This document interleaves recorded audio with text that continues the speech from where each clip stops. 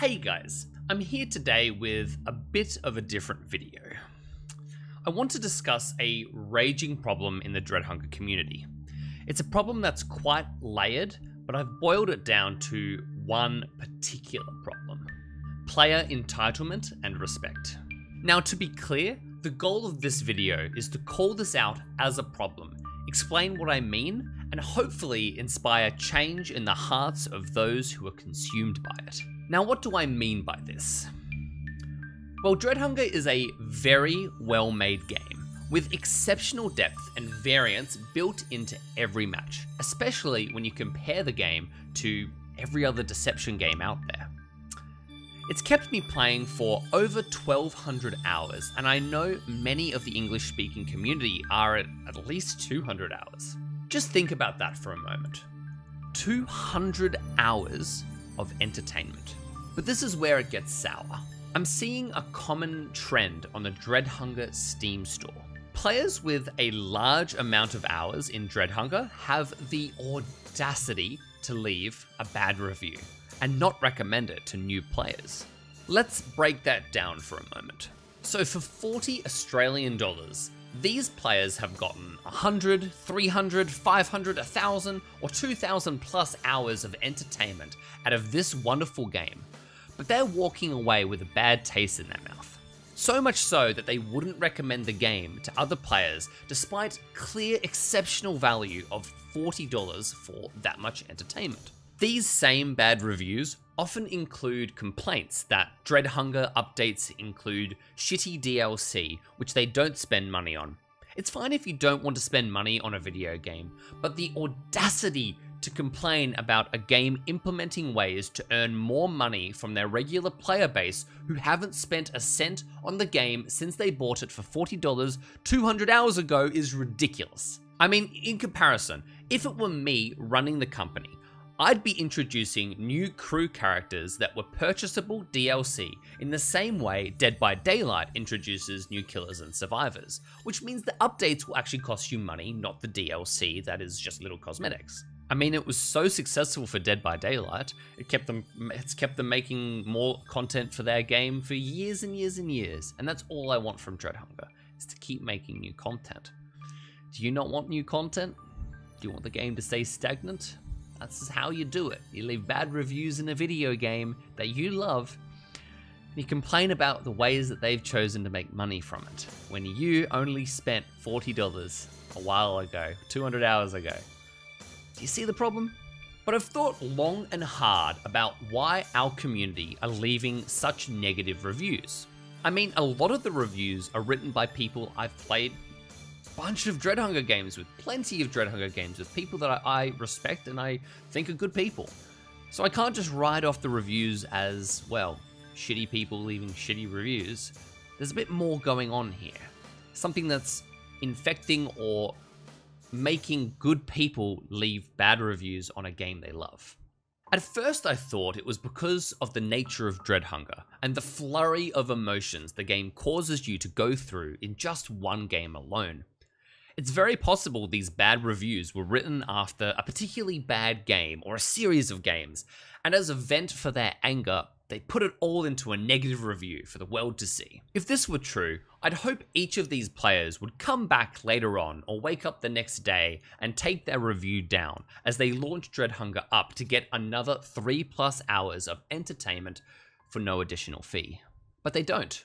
At least a majority don't. So there must be more to it. I next considered that it might be the result of feeling ignored, as we all know how frustrating that feels. These players have spent hundreds, if not thousands, of hours learning and improving themselves at Dreadhunger, but when they take the time to write out and send suggestions to improve the game, they feel ignored. Now, I totally understand this feeling. It royally sucks. As someone who writes guides and likes to push the envelope, I've certainly formed my own strong opinions about the game and the direction I would take it if I had the power to do so. But I don't. And neither do any of you leaving negative reviews fueled from the frustration of being ignored. We're all lucky players who discovered a game created by people who have sunk more time and money into creating it than we could possibly understand. I mean, just look at this footage of the approach back in 2019. How the hell do you turn this into the beautiful game we have today? Hell, it took me a week and a half to record and edit this damn video alone. So when we make big suggestions or requests like rework the approach or make more maps, it's not so easy, especially when the developers aren't some massive studio with thousands of people ready to help develop the game at a moment's notice. As for smaller ticket items, I'm seeing a chorus of complaints with quite a similar tone. Requests like change or remove muskets or remove nitro rushing. Other general complaints are about the developer team and the toxic community. I sympathize with these last two critiques, at least a little bit. The community certainly does have an undesirable amount of toxic players who use their voice chat to spread hate or just shitty shit. but I very much consider these people a vocal minority. So, what I think this critique means about having a toxic community is there are a lot of clashing personalities, which creates issues and words can be exchanged in the moment. I wouldn't consider these individuals toxic, but together they create a somewhat toxic environment as they argue with each other. As for comments on the developer team, I'm lucky enough to be speaking with the team pretty regularly, and I can assure you that their hearts are well and truly in the right place. They've created a game that we all, at least at some point, loved, and it shouldn't be a big ask to show a little bit of respect when talking to them. I mean, I personally haven't agreed with every change that's been implemented into Dreadhunger, but I make an effort to formulate my critiques and turn them into update analysis videos that focus on both the good and the bad of each update. Do you know how crappy it is to work and work and work on something only to be met with critique after critique? Hell, it's deflating, it's disheartening, and it sucks. Would it kill our community to comment on the good changes that were made every now and then?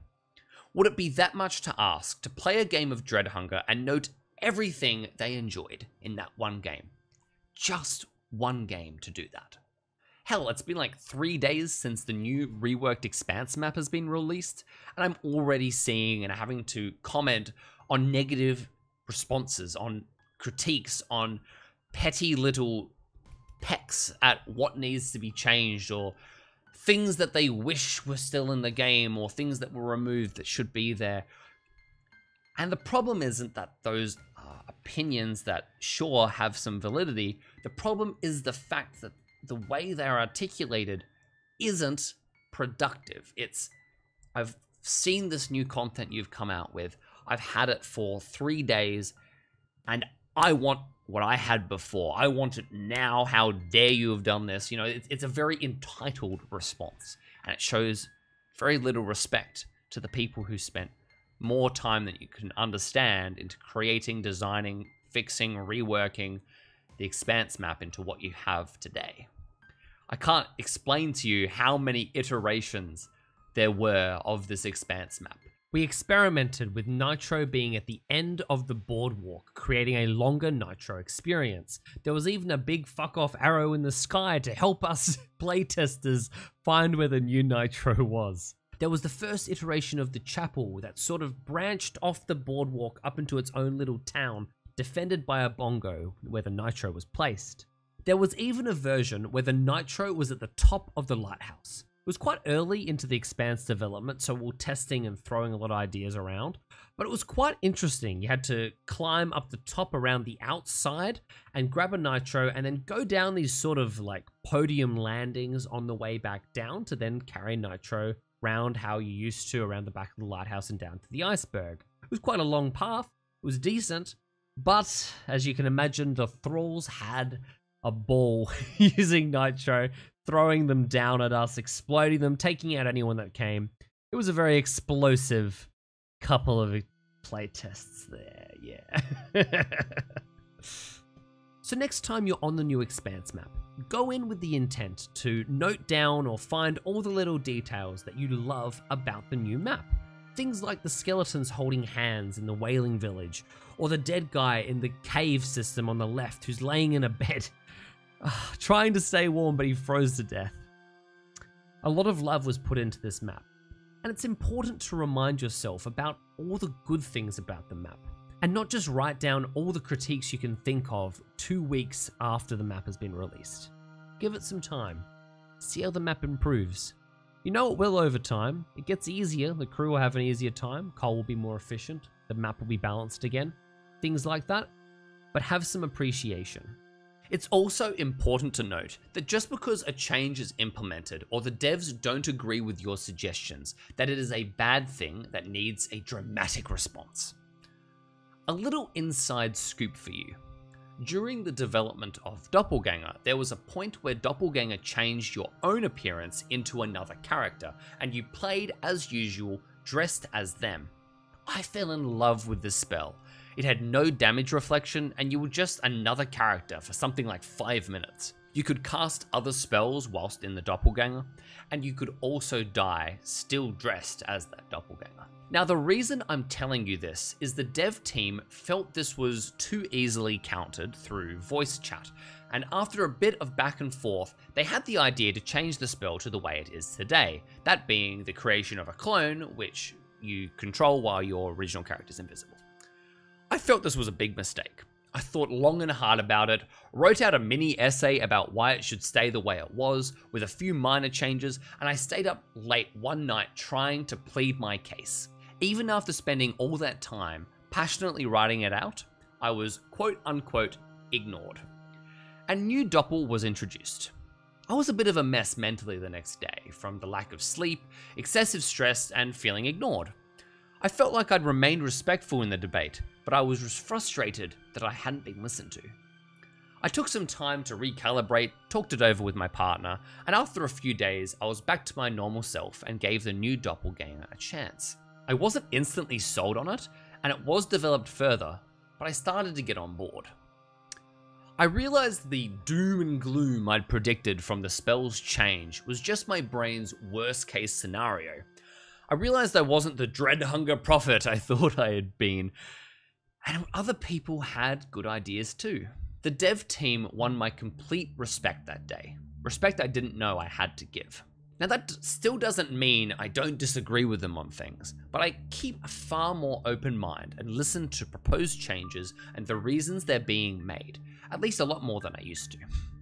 I still passionately fight for changes I believe to be important, but I'm more accepting that just because my changes aren't implemented, that it's still going to be okay.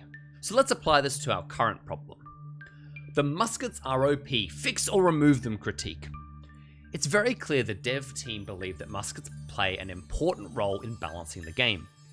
PvP thralls are punished appropriately, with muskets only punishing thralls who make mistakes and out themselves or intentionally out themselves for minor early advantages.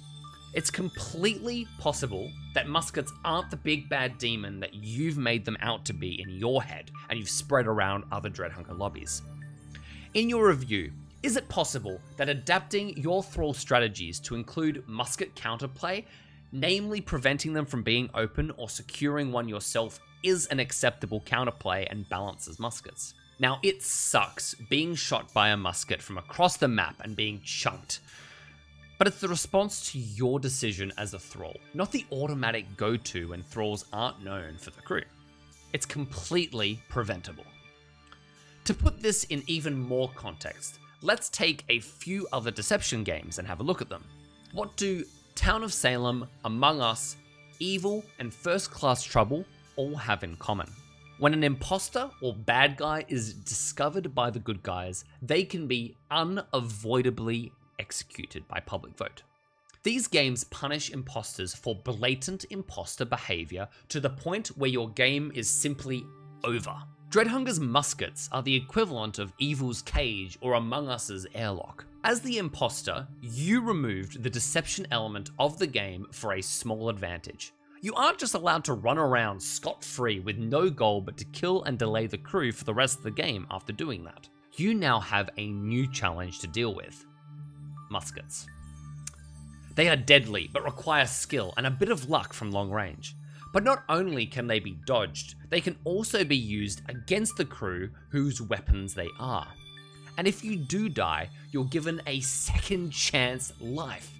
Among Us imposters would kill for that chance. I mean, would you prefer the muskets to auto lock and execute you when you have outed yourself? Or that the ship has a voting system that bans you from even entering the ship? What replacement punishment would you introduce to Dreadhunger that gives the weaker class of crew the ability to fight back and kill a thrall who outs themselves too early into the game? Crew don't get the luxury of spending the whole game prepping for a fight. So, what's the solution? My point here is there's clearly more than one way of handling this, and the sheer volume of negative reviews that mention these problems is almost unbelievable. Do these people not realize how bloody lucky we are? How much freedom they have in both the crew and thrall roles? How much work, love, time, money, and effort went into creating this brilliant game, only for them to complain about a handful of ultimately minor things in the grand scheme of Dreadhunger and let it define how they review the game?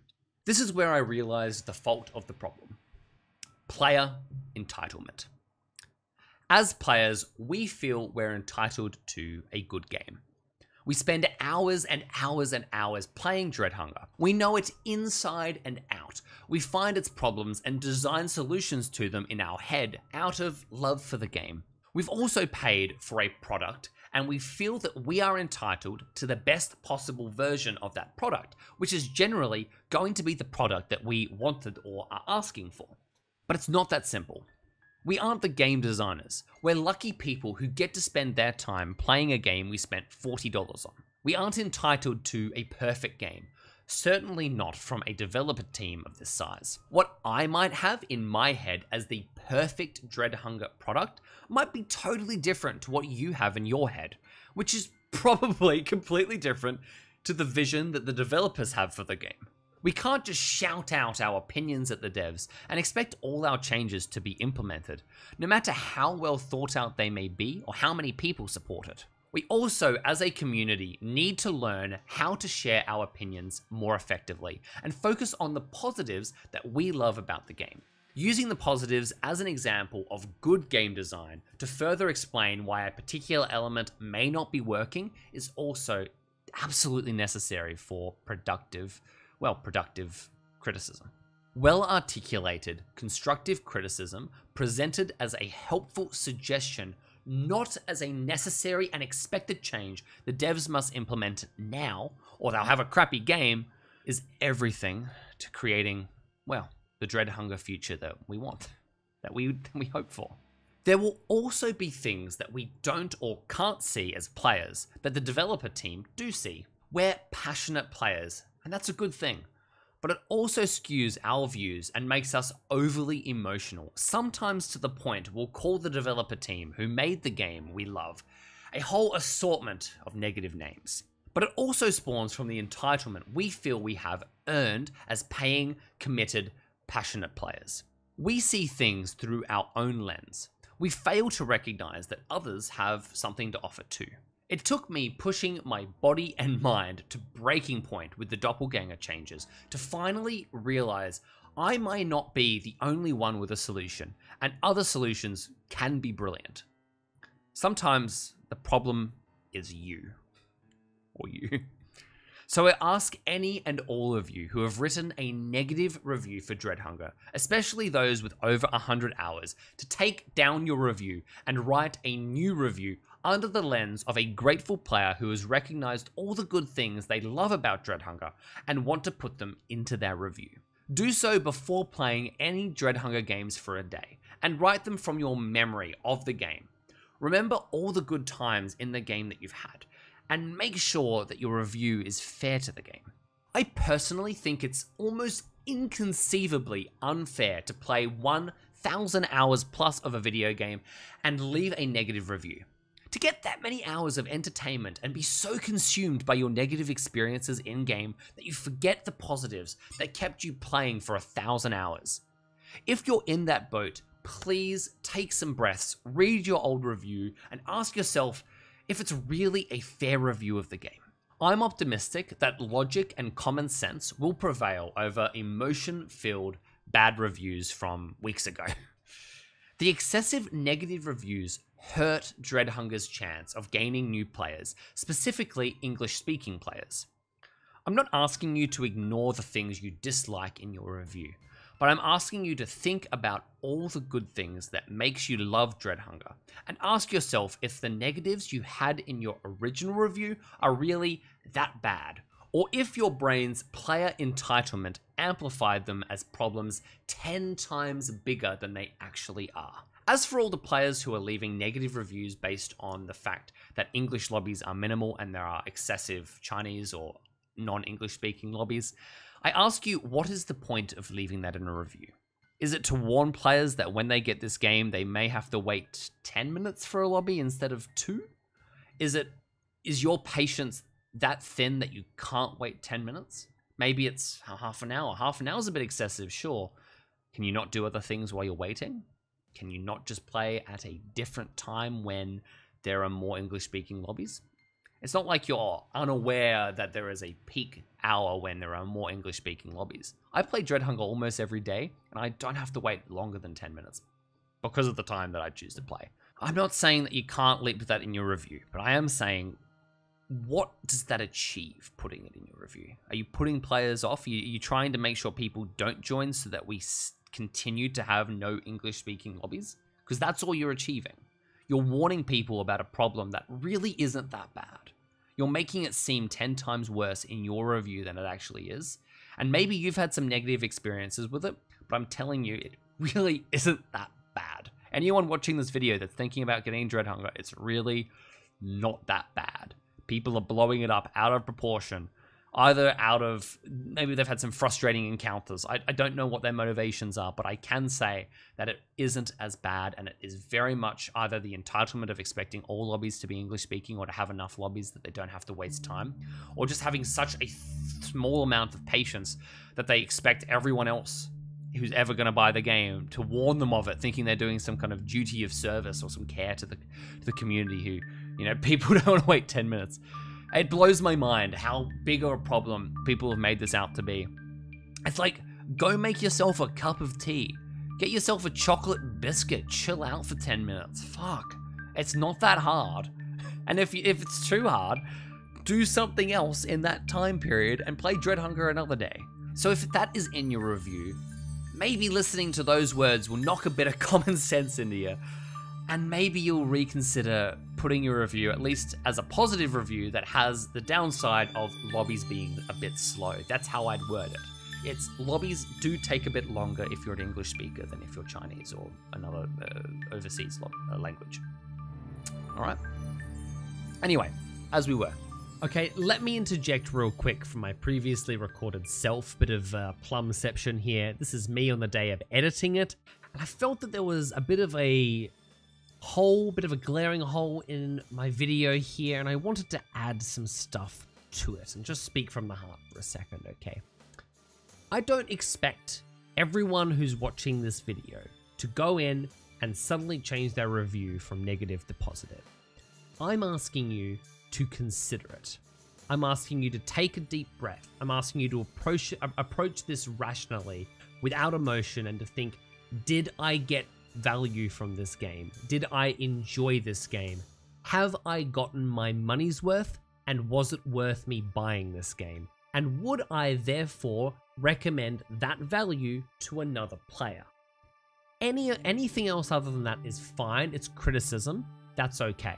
But criticism, being upset about certain little things in the game or even slightly bigger things, isn't the same as would you recommend it to other people? That's what I'm trying to get at here.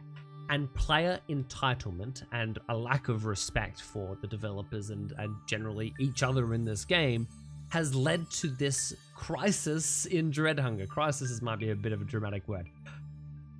I mean, I'm reading some of these reviews, and when one of your look, I don't mean to throw shade here, but when one of your lead creators leave leaves a review like this, there's a fucking problem, and it isn't with the game. It's with the mentality of the players. And it concerns me how many people are following suit with these kind of reviews. They're saying, well, I've played 3,000 hours of this game, I have gotten more than my fair share and money's worth out of this game. And I'm still going to have the balls and the sheer audacity to not recommend this to other people because I got this amazing value out of it. I've enjoyed it. I've, for most of it, loved it and kept me playing for this many hours. But don't you dare think about getting this game because of these little things I'm going to list off that to me are big deals and have amplified in your head and the the way it amplifies, the way I think it amplifies, and I, have gone through this a lot. I think you, a, a problem is created, all right. A problem is created, whether it's muskets, whether it's uh, Chinese players being too many, whether it's the way the development team reacts or handles people being banned, whether it's uh, even things like nitro rushing or any other issue that I've mentioned throughout this video. That issue starts out and you start the game and you get a bit irritated by it. Maybe you start a lobby, it takes a while to join. Maybe you play a game, some asshole calls you some kind of nasty, horrible slur or whatever word they're choosing to use that day over open mic, and since it's open mic, they can get away with it. They might be banned, but it doesn't take away the fact they can do that too. Anyway, whatever you want to, whatever the issue is, that issue happens. Maybe you make an effort to, shall we say, present that issue to another person, whether that's the developer team, whether that's uh, someone in the Discord, in the Discord chat, whatever it is. You're bringing it up as an issue. That issue is then either A, addressed, but isn't really able to be changed because let's face it, one person saying this is an issue isn't going to be a reason to redo the entire game's design with muskets, uh, with any issue in this game. Uh, and that isn't even considering the fact that the developers ha- are entitled and are completely allowed to have their own vision for what they want their game to be. That's a whole nother issue. Um, it's a whole nother part of this, but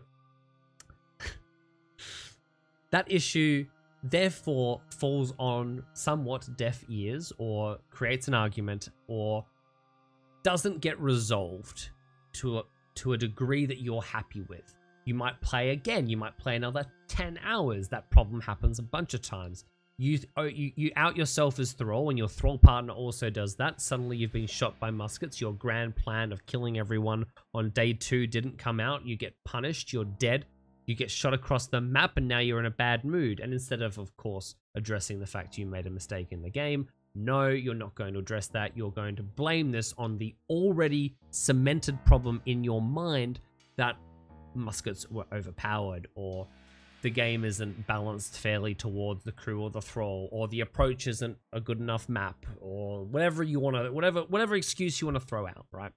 It's amplified. It turns from well this is annoying to well, now this has caused me to lose two games, and then it's made me lose five games, it's made me lose 10 games, and then you get to 3,000 hours of it, and you've lost, what, 300,000 games, and it causes you to say um, mildly delusional statements in reviews. And that's a problem, because people read these. I saw a review earlier, I probably put it up on screen right now it had something like 300 people or something, something stupid like that. 300 people had found this useful. And it was a review that, let me just find it, and I'll say this accurately. I'll edit to when I find it. Okay, I've just found the review. It was from a guy named Zero, and I've played with Zero before. I'm not throwing any shade at him. He's entitled to whatever he's written in this, and I have read this whole review. There are some fair critiques in here. Fair. There are fair critiques in here. There are also emotional responses in here. I'm not going to read it all out to you. But 941 people found this review helpful.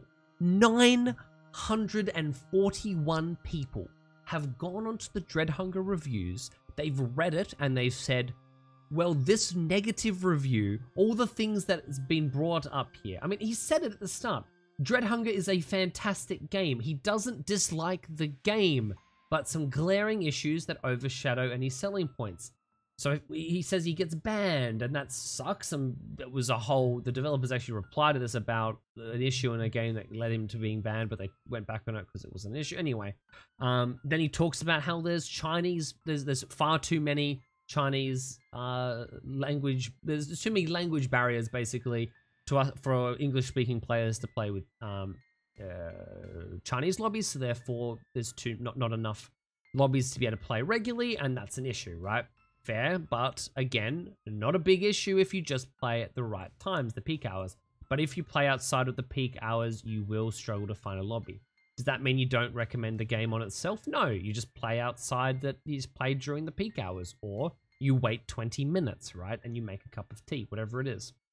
The game itself is a hidden gem. It's a brilliant experience, but I can't really draw comparisons to any other game. Yes, exactly. It's good. It's good. You must have a microphone. Of course it is. That's what makes it so good. It gives you personality instead of just what character movements you control. It's what gives Dread Hunger its strength. Um, cool. I'd say it's not really an issue. He doesn't even have an issue with the troll. Again, why is why are we not recommending this so far? Brilliant game. Hard to find a game, but not really an issue if you play during the peak hours. He got banned, so he's a bit emotionally invested because of that. Uh, he still thinks the game's great. There's no text-based communication system. Well, there's a little one, but and also this was written in what March. It was updated in June, so it was this year.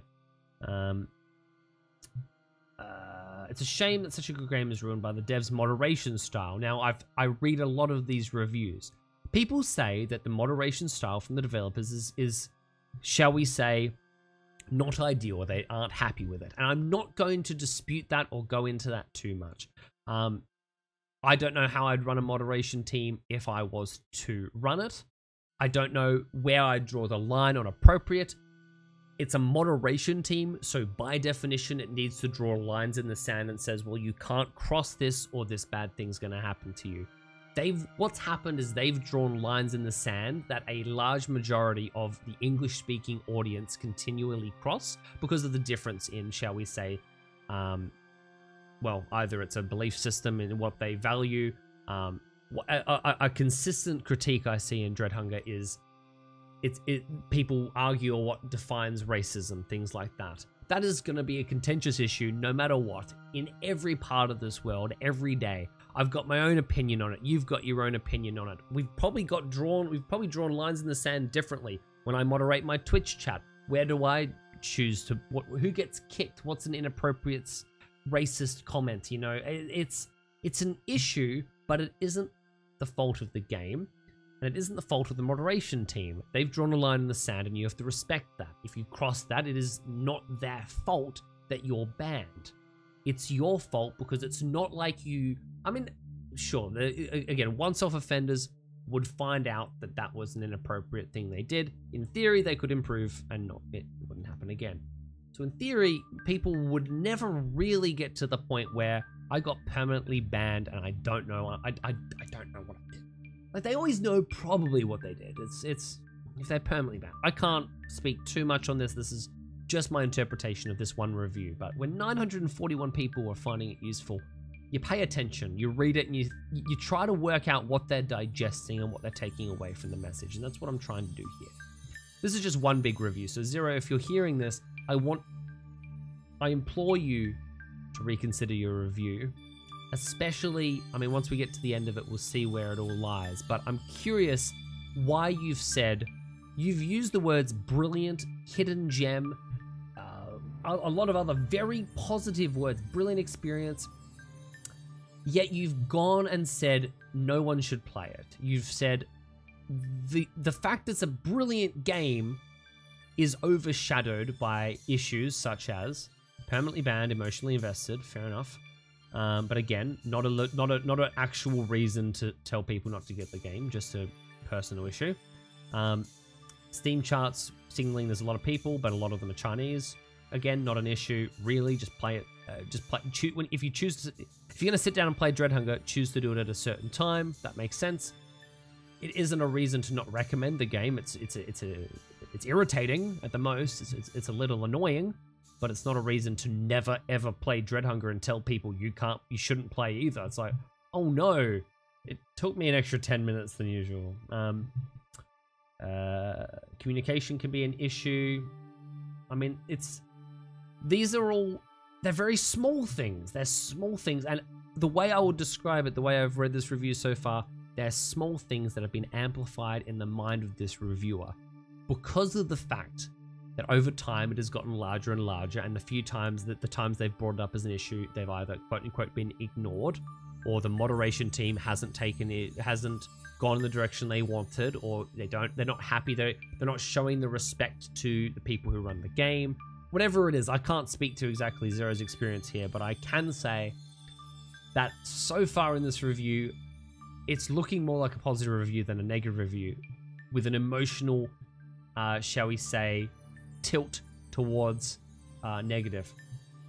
Um, abundance of trolls. He's not even having an issue that with, with this. I don't have an issue with trolls either. You get like one troll, it's like, oh, it sucks. But you kind of have a laugh about it, move on. Um, is ruined by devs moderation team. Moderation team, again, not an issue. It's not the game's fault. It's not the devs' fault that moderation has to exist and they've drawn a line in the sand that you don't agree with. I don't personally agree with the moderation teams. Um, with a lot, I don't. I don't personally agree with a lot of the lines in the sand that they draw. That's different to what I would draw. Doesn't mean I don't respect it. Doesn't mean I don't, shall we say, comply, for lack of a better word. You know. Um, so anyway, um, I've left comments open. The staff have now decided to unban me. Yep, you got unbanned. The temporary comms ban, no. Friends and readers been long since they wrote the review. I think has really changed. I did manage to get rid of the 10 comms ban. Great. Uh, there are less English speaking players than ever. Again, still a minor issue. I'm you play during the peak hours, you find a game in five ten minutes. One day that may not be the case. And then you go, well, it's annoying, and maybe you shouldn't buy the game then. But at this point, it's being over dramatic. It's being over dramatic. Same story as the main review. Gameplay is great, concept is great, staff not so great, lack of players not so great, lack of updates so not great. Now the lack of updates thing is actually very interesting. I've I've I've read this in a lot of reviews. I'm curious what a lack of updates means to an individual player. So if you're listening to this and you haven't clicked off by now and you're not irritated at me for daring to speak on this issue, um, where or, or what would you consider a, an appropriate amount of updates? Let's say a year. How many updates in one year would you say would make you happy as a as a player? Now we've been trained as players, as gamers, to expect an update every. I mean, League of Legends does an update every what is it, two three weeks? Something they pump them out fucking crazy. They've got a huge team of people just pumping out updates there's there's bigger updates that take longer, like there's end of season updates one once a year for like League of Legends, Overwatch. I mean, if you don't use Overwatch as an example as as uh, for speed of updates and quality of updates, but you know what I mean. Um, what is the number? What is the secret number that would help people say, "Well, I'm happy. The moderate the, the updates have come out quite regularly." This year, we've had a whole new section of the in the pre-game lobby with merchants, the ability to dress our characters up. Even if people complain about DLC, I have a whole section about DLC in this video, so I won't go into this now. Um, they have whole two new spells. They've up they brought out the new map at the they brought out Expanse uh, as a new map at the start of the year. Let's not forget that it's only been what it was February when it got released. It's been 10 months since the, the first map was released. People were saying updates don't come out enough. Interesting. They then reworked that entire map in less than a year. And if you look at the sheer volume of work that goes into one Dreadhunger map, that's and and considering the size of the team that do the work, I hmm. it's incon it's an inconsiderate criticism. It's saying, well, the standard that like what they, I think actually this is actually interesting. Um, the quality of the game is so high that the expectation of how quickly it must be updated is also high. And those don't balance out because at the end of the day, the game is exceptional and it really is. You're not going to see many people go into these reviews, and I've read a fuck ton of them now. You're not going to see many that say, well, the game is shit.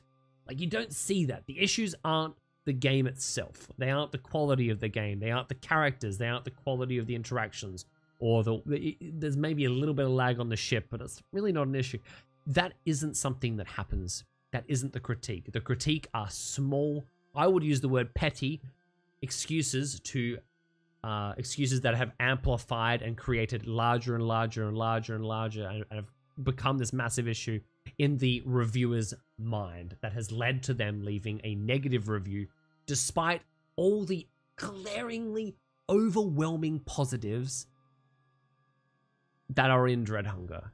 And I would say anyone with logic or common sense, or who is using logic and common sense to write a review for Dread Hunger, would leave a positive review. You could mention things like, well, it's irritating that there aren't enough English lobbies. Fair game. It's irritating that the dev team uh, considered what I said to be racist when I would say it was completely fair that I kicked a player that couldn't speak community that, couldn't speak Chinese. I'd also say that's completely fair personally.